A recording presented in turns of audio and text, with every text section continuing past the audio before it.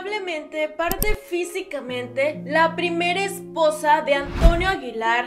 Y a unas cuantas semanas de cumplir 90 años, se informó sobre esta noticia de la partida de la actriz y bailarina Otilia Larrañaga por parte de las redes sociales de la Asociación Nacional de Intérpretes de México. Se compartió la siguiente información la Asociación Nacional de Intérpretes comunica la sensible partida de la socia intérprete Otilia Larrañaga, reconocida actriz de teatro, televisión y cine. En 1957 fue nominada al premio Ariel por la película Caras Nuevas. Luego de que la asociación mandara sus sentimientos a familiares y amigos de Otilia, pues varios famosos dieron su pésame, entre ellos está la cantante y actriz Maribel Guardia. Por otra parte, Irina Areu expresaría lo siguiente, adiós amiguita.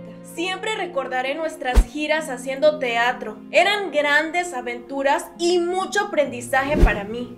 Según información compartida por los medios, Otilia Larrañaga fue una de las actrices más guapas de la época de oro del cine mexicano y conoció a su primer esposo, el cantante y actor Antonio Aguilar, en la emisora XEW Televisión y llegaron a actuar juntos en algunas películas. Ellos se casaron solo por civil y estuvieron muy poquito juntos, Luego se casaría con el actor Rogelio Guerra, con quien tuvo a su hija, y comentan que con Antonio Aguilar tuvo un hijo que partió a los pocos días de nacido. Ella también estudiaría ballet y a los 15 años de edad era una destacada bailarina, pero su gran pasión y destreza por las artes la llevó a entrar en el mundo del cine. Luego de esto logró estar en varias películas. De los primeros éxitos de Otilia Larrañaga fue su participación en la puesta en escena Ángeles y Payasos, dirigida por Luz Alba en el Teatro Esperanza Iris. Otilia a sus 20 años decidió participar en el certamen de Miss México, sin embargo desafortunadamente no logró clasificar entre las cinco finalistas,